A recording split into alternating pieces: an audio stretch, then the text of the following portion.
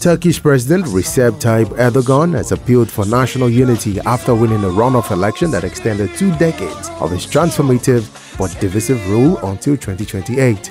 The 69-year-old overcame Turkey's worst economic crisis in a generation and the most powerful opposition alliance to ever face his Islamic-rooted party on his way to his toughest election win.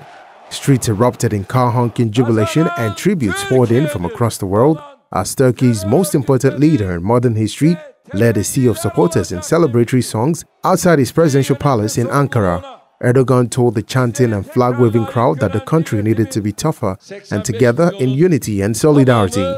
Near complete results showed Erdogan beating secular opposition leader by 4 percentage points. The UN chief Antonio Guterres has said through a spokesman that he looks forward to further strengthening the cooperation between Turkey and the United Nations. Russia's Vladimir Putin said the outcome showed the support for Erdogan's efforts to strengthen state sovereignty and pursue an independent foreign policy.